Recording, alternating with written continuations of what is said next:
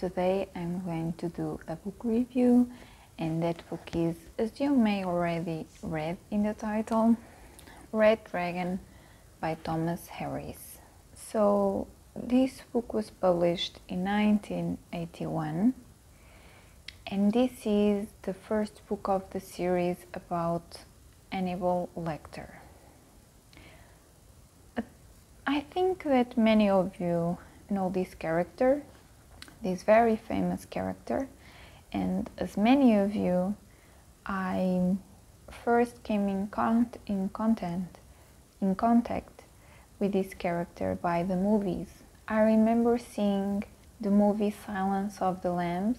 I think that was the first movie that I saw, and Anthony Hopkins portraying Hannibal Lecter what is the name of the actress? Jodie Foster, that's right. And I watched that movie first, and then I remember watching Red Dragon as well. I'm now I'm not sure, but I think that the movie of this one, The Red Dragon, came out years later in the 2000s, I think, because uh, Silence of the Lamb is from 1991. I wasn't even born. I just was born the next year in 92. So, and the Red Dragon, uh, let me check. Yes, the Red Dragon just came out in 2002, so 11 years later. And that movie was also with Anthony Hopkins portraying Hannibal Lecter and Edward Norton portraying Will Graham.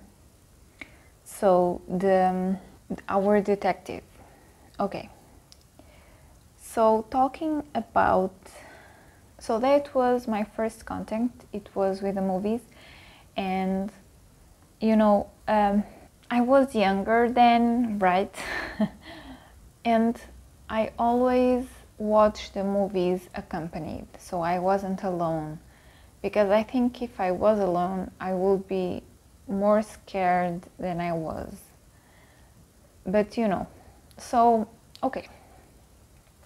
As I said, this book was published in 1981, and as I was saying, it, this is an introduction to Hannibal Lecter, and I didn't know this. I I always thought that the first book was The Silence of the Lamb, but it wasn't. It isn't. I mean, you know, although you might expect that the protagonist of this book is as being the first one in the series is Hannibal Lecter. That's not what happens.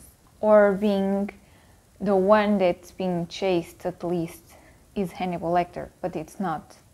So in this book, we have Hannibal Lecter imprisoned in a hospital facility of high security. And we are introduced, first of all, to Jack Crawford and Will Graham. So they are FBI agents, at least Jack, Jack Crawford still is, but Will Graham, although he is young still, he has retired from the FBI.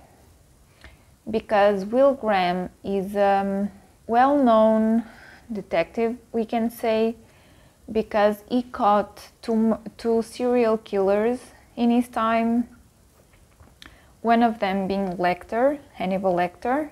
But Will Graham, you know, was wounded by Lecter. He almost died.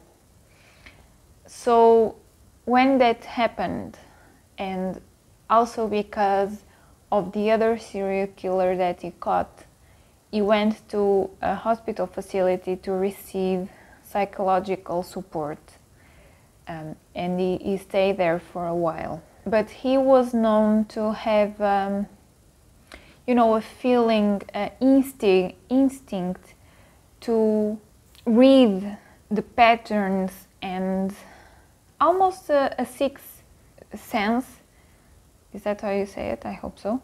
Uh, to who the killer was, and Jack Crawford really admired him for it. That's why he, Jack Crawford, went to Florida where Graham lives with his wife and stepson to convince him to come back to, well, not really come back, but get into an investigation of another supposed serial, serial killer. And they call him the Tooth Fairy because he kills all the, the whole families like he has killed already two in their house in the dawn he kills parents he kills uh, husband wife children you know. It's really macabre. He he has the habit of biting their victims or his victims i should say. And it's a very peculiar type of bite. a very specific and characteristical um, bite. And so um, he's known for to be the tooth fairy. And they are really they have some sense of what he's doing and his patterns but crawford really wants graham to get into the investigation and participate in the investigation because he thinks that graham will catch the serial killer.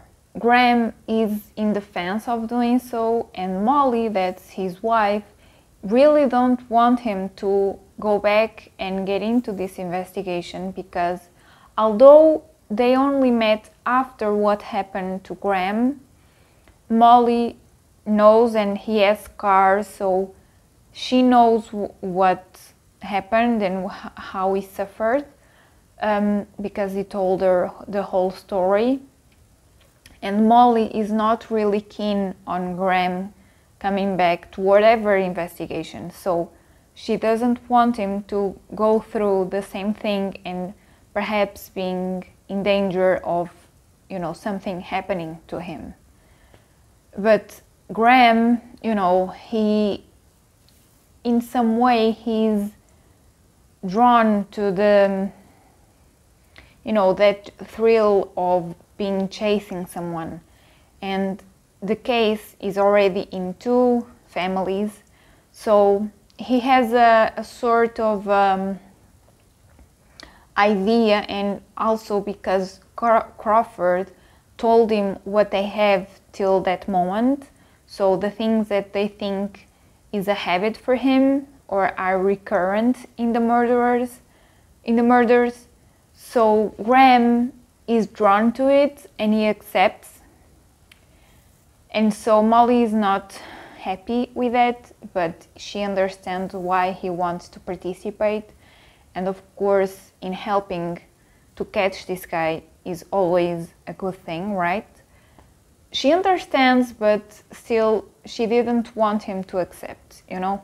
And so that comes a point, you know, maybe um, 100 pages pass and Graham tells us in the ending of a chapter that he wants to see Hannibal Lecter. So he, he contacts the director of the hospital where he is imprisoned and he gives him guidelines to what he can do or not do and so on. And he goes there and in some way Lecter was expecting him it's really strange and he has a demeanor that is really uh, somber and psychologically thrilling, you know. And Graham talks to him and gives him a, um, a folder where he has, I think, pictures, if I'm not mistaken. Now I don't really remember, but I think he shows pictures and he has like um, data from the murderers and he wants him to give him advice.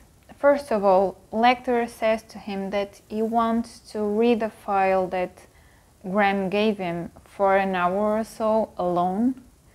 And so Graham gets out of his cell. Well, he's not in it because Lecter, I didn't say this, but Lecter is in a cell alone where he has access to uh, books and correspondence. Really strange, right? But yeah, he exchanged letters with other doctors because Lecter he's a forensic psychiatric uh, psychiatrist, so he's very intelligent, really. So Graham gets out and he's in um, a cell alone, as I was saying, um, and Graham is out of it, and he has like a drawer where people can put things there and close it, and then Lecter has access to those things, and so that is how Graham uh, gives him the folder or the dossier. So Graham gets out of there and leaves Lecter alone for one hour, and so then he's called again and he goes in and Lecter gives him some pointers that he thinks that is happening with this killer. And one of the things that he says is that, is that Tooth Fairy is very shy and he has um, and he would like to meet him. And some of the pointers that Lecter says, Graham like uh, nods and you know affirms or agrees with it, but Lecter sometime later says that everything that he is saying he already knows. But something that Lecter says is that he perhaps chooses the houses because they have um, closed background, uh, garden spaces. So the back of the house is um, is closed, so it's very private. Because another thing that Lecter says is that he perhaps is in sync with the moon. He doesn't say it like I'm saying, but he gives the, the same pointers, of course, in, with other words. Um, but yeah, and Graham takes that in mind and something that Lecter says is that perhaps he like gets naked and goes to the backyard and looks to the moon, the full moon, you know. So after that, Graham is is is expecting that the next murder will happen in the next full moon. So they are running against time. And Lecter, after Graham leaves, he says that he wants Graham to get in, uh, maintain uh, maintaining touch with him. Like really macabre, right? And and Graham, I, I what does he say? I think he he says okay, okay, but you know. And after that, Graham continues the chase and something that Graham likes to do. So this is something that he did the first moment that he got to the place where the murders happened. He went to the house and to the houses, so the two houses, and he looked at the, at the place and went to the backyard and went to see where the killer got in and how he got in, with which uh, instruments that he used, and something that they concur between Crawford and Graham is that he knew how to get in. He knew the instruments or the equipment that he needed to get into the house without making noise. So they don't understand how he knew. Of course, perhaps he did homework, right? and uh, went to look the house um, before the murderers or the murderers. I'm sorry, but one thing that they thought is that he because in at least one of the houses, even from outside or the exterior, he didn't could understand how some doors or some windows the system of locking that they have or they had. So they thought that he has to come into the house before um, some some weeks before perhaps to know how what he should use to open the doors or the windows or whatever right? But at least in one of the houses the the people that live there so the couple have exchanged the lockers of their doors and uh, he wasn't expecting that because he, he went with an instrument that he didn't use. Um, and in one of the families, one child, so he was in university, so he wasn't living in the house, so he wasn't killed. So he, he tried to get info with that, um, oh well, young adult, right? Something like that. If he wasn't in university, at least he was in high school, but he was away, okay? So uh, and Graham tried to talk to him and understand that he, if his father or his mother have enemies, or he, he, if they were in trouble with something, or stuff like that. And he tried to talk to the lawyers and to the um, those family keepers to understand the things that they have in a house before and prior because one of the things that happened to one of the families is that three months ago or three months prior to the murder to the murder they they changed states. And when they were in the other state uh, a fire burned or the or almost all their belongings. So they didn't have photographs or videos or anything like that. And so that was difficult for Graham to do research about them. And one of the things that Graham and Crawford, Crawford thought was, were that, was that um, perhaps the tooth fairy passed to be um, technician of uh, something of a service, you know. So, uh, and called to the house to get information or went to the house to get information um, about the house and see the house and so on and so forth. Uh, and they were thinking like that, but they went to the um, calls history and they didn't see anything relevant. So they went to talk to the neighbors if they have seen a strange person walking to the neighborhood or um, watching the houses or something. So they tried everything, right? So another thing that characterizes this story is that this is not a type of thriller that you are trying to find out who is who or which of the characters are the, the murder. So in this story, we are introduced to the murder or to the killer. Uh, and we have his perspective, his childhood, or at least a bit of it, uh, his where he works, who he meets, a romance involved. And so in this story, at least this, this is my opinion and how I felt the story. This is more like if Graham is going to catch him, is, be, is going to be able to catch him. So this is more thrilling because of it. In that, in this perspective, at least for me. Of course, I'm not going to say how this story unfolds, but we have turns in the story there comes a point where a Lecter will be contact, contacted by the Tooth Fairy.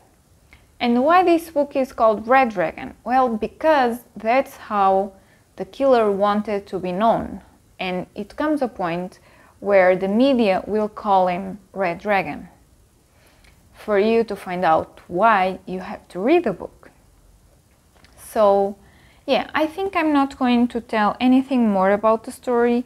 I just wanted to say that um, I really enjoyed it. It was a nice surprise to get in contact again with this story, but in a book format, right? And although I watched the movie, it comes a point in the book that something happens that I wasn't expecting. And then after the thing happens, I remembered what happened in the movie. But it was, um, I can say, a nice surprise because this is about a serial killer. But it was um, unexpected, we shall say. At least for me, I'm not really good in guessing what is going to happen or uh, being suspicious about this or that. I'm not really a good guesser, should I say. And I think in thrillers, I'm always caught with um, misleads of the author. So I think thrillers really work for me because I'm never expecting what is going to happen, and this happened in this book. Of course, if you have watched the book, the movies, I'm sorry, uh, perhaps this is not going to be so thrilling, but I think that it's really worth it to read the book. Although I have to say, I didn't rewatch the movie because I wasn't in the mood, but is as I everything that happens here, the movie is really faithful. I'm talking this one, The Red Dragon. And how is he called? Ralph Fiennes, right? Let me check. Ralph Fiennes, right, is awesome. So Ralph Fiennes plays the killer. It's not really um, spoiler because you know the killer all since the beginning. Okay, so stuff that happens in the book happen in the movie. I think the movie is really faithful, as, as I was saying. So if you never heard about this story and you never knew Hannibal the Cannibal, I think that I recommend it. Yeah, if you're not afraid of reading this type of stories. Ah, one thing that I wanted to say is that the author, although he hints, not really hints, he, he explains what he does, but I have to say that I was expecting more more scenes of violence, more graphic, and it's not what happens in this book. I think he begins to tell what he's doing, but then he passes to the next chapter, so you never really know what he did or everything that he did. And um, although, of course, you will have horrific scenes throughout uh, in the book, and violent, violence or more horrific, I should say. So be aware of that, but he not he, he not he, he doesn't dwell on it. Okay, so it's not really descri- a description of the scene. Okay, so yeah, I wanted to say that, and I'm really um, curious about the next one in the series the Silence of the Lambs. So, because of that movie, I don't really remember many things. I had a more fresh memory of this one, you know?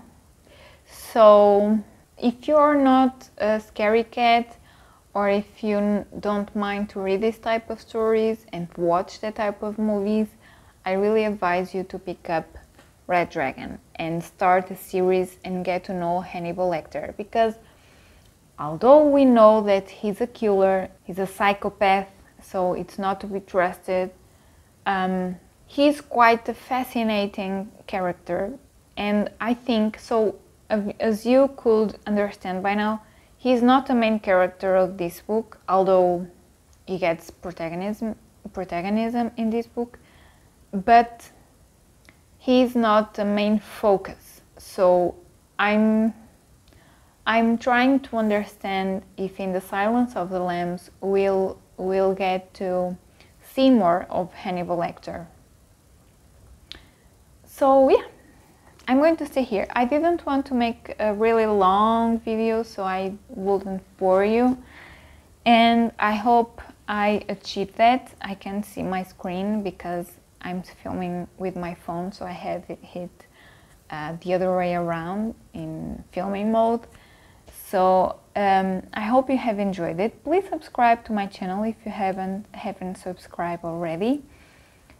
Don't forget to press the ring bell button to all so you can receive all my notifications. Leave a like, it helps a lot the divulgation of the video and the divulgation of the channel. Follow me on Instagram, I'll be posting there whenever I have a book review to do or anything else. And I see you on the next one. Till the next horror month video. Bye!